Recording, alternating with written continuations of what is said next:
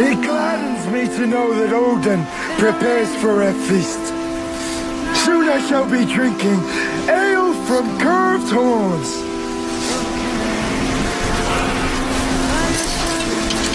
This hero that comes into Valhalla does not lament his death.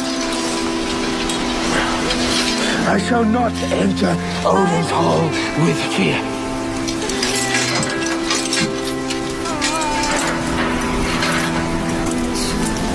There, I shall wait for my sons to join me.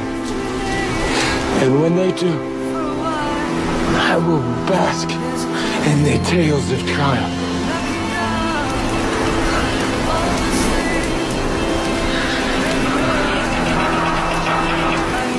The Aesir will welcome me.